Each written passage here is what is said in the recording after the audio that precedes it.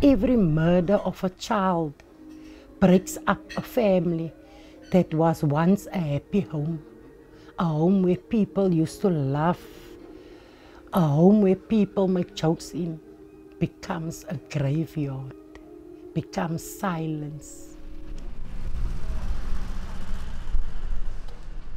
And I was thinking, they stabbed him, he was just by me a few hours ago. How can they stab my son?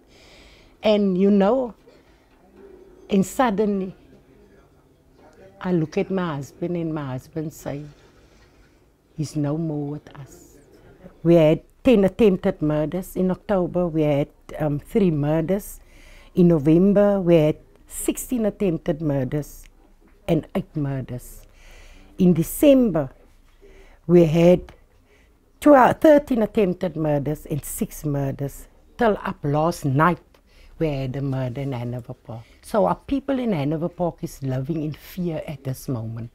You don't see children playing around with balls or any game because children need to look out for their lives. Families need to look out because the bullets is coming into their houses where they sit and watch TV in their comfort zones in Hanover Park. And it's more about drugs. It's more about turfs. It's more about leadership.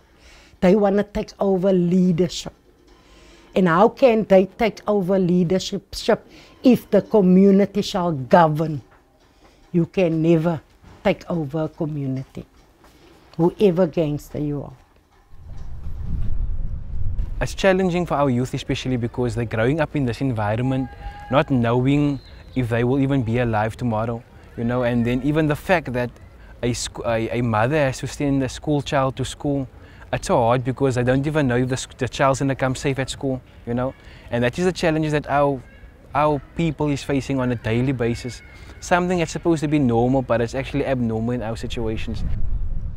We're looking at the ShotSpotter, we're looking at the CCTV cameras, we're looking at that extra policing, and we're seeing that it's not, it's not curbing the crime in the area. Instead, crime has actually risen since the launch of the LEAP officers, since the launch of the ShotSpotter and CCTV cameras. So once we engage with community, and then we'll realize that the real issues that is causing the crime is actually the poverty, um, school dropouts, and that is actually where the millions need to be invested in.